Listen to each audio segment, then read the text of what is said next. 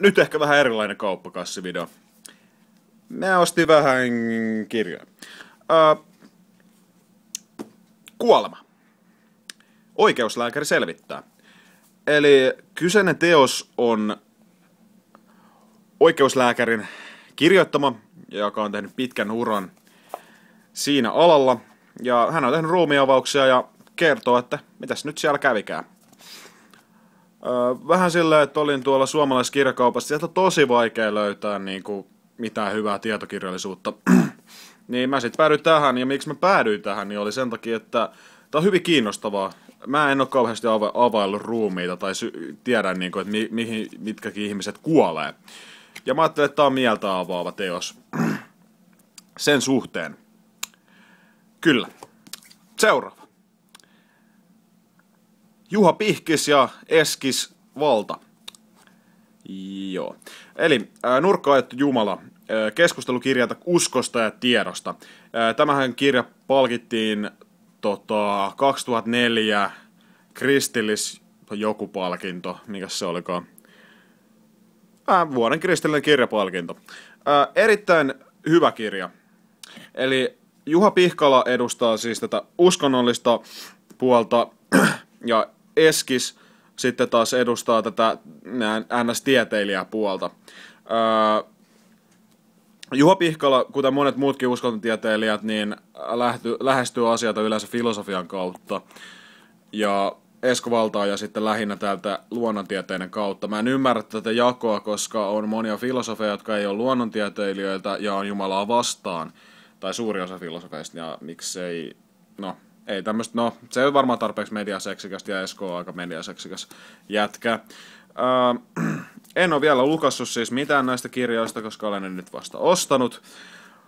Mutta vaikutti tosi mielenkiintoiselta ja tässä on sen taas sen takia hyvä, että ei mitenkään paasaava kummaltakaan suunnalta, vaan siinä esitellään uskonnollinen puoli ja tieteellinen puoli. Ja sitten siinä voi vähän punniskella, että ahaa, okei, okay, tää on kiva, jees, ja niin edespäin. Slavoj Zizek ja väkivalta. Zizekil on tunnettu ainakin tosiaan jännästä aksentistaan ja siitä, että hän repii teepaitansa irti itsestään, kun hän puhuu. Sisek tekee hirveästi populaarikulttuuriviittauksia. Kyseessä on siis taas vaihteeksi filosofi. Ja Zizek on tosiaan aika mitä se nyt sanoisi? ei kovin akateeminen jätkä. Siis ei, eli siis tarkoit hyvässä mielessä. Eli hän ei ole mitenkään tylsä. Ja kyllä hän tietää, mistä hän puhuu. Meitä on hyvin mukava seurata, varsinkin siis esiintymistä. Mutta en ole koskaan lukenut mitään sisäkin kirjoittamaa. Ja nyt ajattelin, että nyt olisi hyvä tilaisuus. Kyseinen kirja tietenkin oli hieman hintava, 23 euroa, mutta menkööt. No, sitten oli vähän silleen, että kun mä olin siellä suomalaisessa, mulla oli siis lahjakortti sinne, ja sieltä kun on vaikea löytää tietokirjallisuutta, niin mä päädyin sitten tähän. Ihan tämmönen englanninkielinen pokkari. Ja tää on niinku mielenkiintoista, mitä pystyy löytää sieltä. Eli ihan vaan niinku tämmönen, no mitä se otsikko sanoo. Siis historia vaan niinku tämmöisistä, että pituiksi meni tyylisistä tilanteista. Ja no, ihan mielenkiintoiseksi koin ja ajattelin tutustua sitten siihen. Ei varmaan mitään enempää sanottavaa. Oh, sinne länsi. Joo, eli päästään sitten siihen mielenkiintoisempaan sisältöön. Eli se akateeminen kirjakappa. Siellähän niitä tietokirjoja on. Sain onneksi Tokkan lahjakortin myös. Michael Sandel, Justice. Eli äh, Harvardin filosofian professori ja naama on tuossa. Michael Sandelia on, voi suositella kaikille, hän on hyvin selkeä on ulosanniltaan. Et kuka vaan ymmärtää. Ja tämä Justice on itse asiassa YouTubessa. Tää, ja tämä on Harvardin luentosarjaan perustuva. Ö, olen katsonut ne muistaakseni 11-12 osaa, mitä siinä on. Suosittelen kaikille. Tosi mukavaa katseltavaa ja tosi viihdyttävääkin oikeastaan. Ja tämä kirja siis perustuu siihen luentosarjaan nimenomaan. Eli tässä on niinku mun mielestä niinku etiikka yhden kannen sisällä. Näin niinku ehkä liioitellen, mutta laitan tuon kyseisen linkin tuonne deskriptioniin. luult, pitäisi olla vielä YouTubessa. Se selviää nyt ainakin viimeistään, kun sinne rupeaa linkkaamaan sitä uudestaan, että onko se vielä siellä. Sitten Simon Blackburn. Öö, mitä me todella tiedämme? Eli kirja siitä, että mitä, mitä me todella tiedämme. Simon Blackburn on tosiaan tunnettu nimenomaan epistemologiasta, eli mitä me voimme tietää. Ja sitten uh, logiikasta, ehkä tom tyyppisestä asiasta. Simon Blackburn kyllä myös kirjoitti Uh, ehkä moni voi tunteakin tämän kirjan, jonka olin kadonnut, uh, johonkin... Ah, eikö se olikin täällä? Tämmöisen kirja. Eli Platonin valtio, joka on mielenkiintoista, koska Samuel Blackburn sanoi, että se vihaa Platonia ja se tykkää erityisesti Platonista, mutta no, mä kirjoitan kirja siitä. Uh, joo, eli tämmöistä on varmaan voinut näkyä sitten useimmissa hyllyissä, että tämä on yllättävän suosittu kirja, koska sitä tuntuu, että mä näen niin joka paikassa sitä niin kirjastoissa esillä ja sitten aika hyvin nähnyt myös erilaisissa kirjakaupoissa. Semmoinen kirja.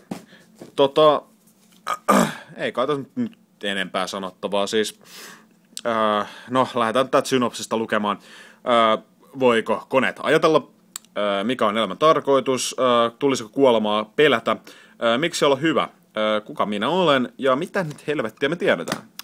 Sitten, Julian Bakkini, mitä haju, mitä toi nimi laustaa. Uh, Ego Trick. Uh, hieno kansi, hieno kirja, luultavasti. En ole siis vielä päässyt lukemaan näitä.